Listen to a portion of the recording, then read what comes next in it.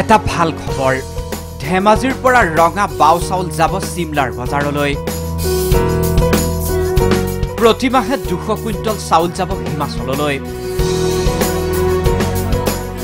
হয় পঞ্জাৱ হাৰিয়ানাৰ চাউলে অসমৰ বজাৰ দখল কৰি থকাৰ সময়তে প্ৰলয়ংকাৰী বানে জুৰুলা কৰা পশ্চিম ধেমাজিৰ ঊনৈছখন গাঁৱত উৎপাদিত হোৱা ৰঙা বাও চাউল প্ৰতিমাহে দুশ কুইণ্টলকৈ যাব চিমলাৰ বজাৰলৈ। জীয়াঢলৰ সংহাৰী বানৰ সময়ত দ মাটিৰ উপযোগী বাও ধানৰ খেতি কৰি সফলতাৰ মুখ দেখিছে পশ্চিম ধেমাজিৰ এইসকল কৃষকে। হিমাচল প্ৰদেশৰ বি প্ৰকাশ বালাটু নামৰ ব্যৱসায়ী এজনে পশ্চিম ধেমাজিৰ লাখটকীয়া দলনীতি কৰি আত্মসহায়ক গোট এটাৰ পৰা প্ৰতিমাহে ক্ৰয় কৰিব দুশ কুইণ্টলকৈ ৰঙা বাও চাউল। ডিব্ৰুগড়ৰ পৰা হিমাচল প্ৰদেশলৈ ৰেলেৰে যাব এই ৰঙা বাও চাউল।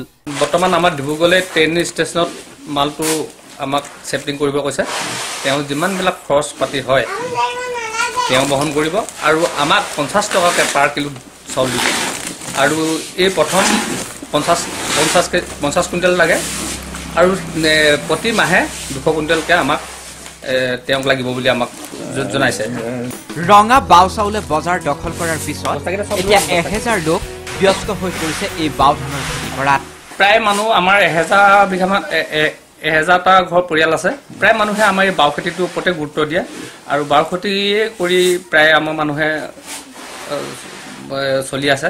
সম্পূৰ্ণ আমাৰ ৰঙামাওটো বাহিৰে বেলেগ বাৰু খেতি কৰিলে আমাৰ উপকৃত হ'বলৈ আমাৰ আছে কাৰণ যিহেতু আমাৰ ইয়াত মানে বানপানী এৰিয়া। বানপানী হ'লে আমাৰ মানে সমস্যা বহুত ভুক্তভোগী হ'বলগীয়া কিন্তু আমি বহুত কষ্ট কৰিও আমি এই ৰঙামাওটো আমি খেতি কৰি উপকৃত হৈছোঁ।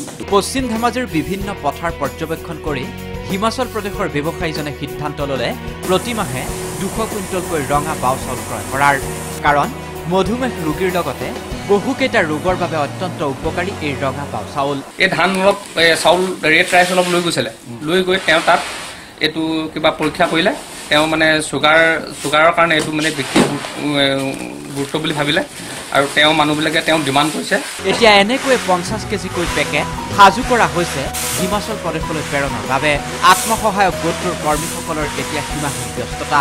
কাৰণ বাও ধানৰ খেতিতেই মনোনিৱেশ কৰা এইসকল কৃষকে এতিয়া এখন উপযুক্ত বজাৰ দখল কৰিছে। কেমেৰা পাৰ্চন বীৰেন শ্ৰীৰ সৈতে ধেমাজিৰ পৰা বিজন শৰ্মা ইউ ফাইভ